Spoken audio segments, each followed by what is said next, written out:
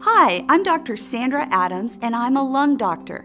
In this series of videos, I'd like to talk with you about some practical tips to help you or someone you love stop smoking. First of all, it's a proven fact that for many people, stopping smoking is one of the most difficult, if not the most difficult thing to do.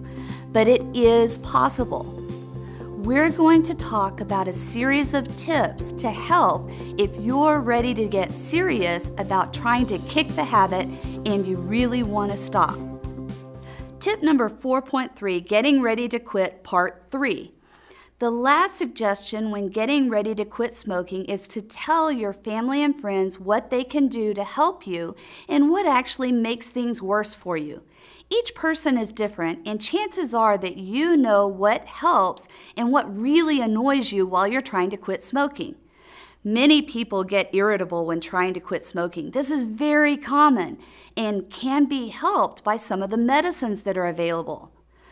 Warning friends and family about what to say, and maybe even more importantly, what not to say, can be very helpful to everyone involved.